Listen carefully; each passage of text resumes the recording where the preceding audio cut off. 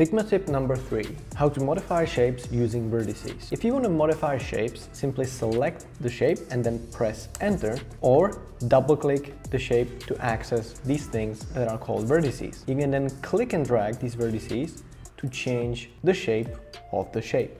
You can also add vertices or you can remove them. But be careful when you do that, you might have to join these again so that you get a shape that has a fill again. You can do this with any shape. You can also use these handles to affect the curvature of these segments. And then when you're done with your changes, simply click done over here to confirm the changes. Leave a like for more tips.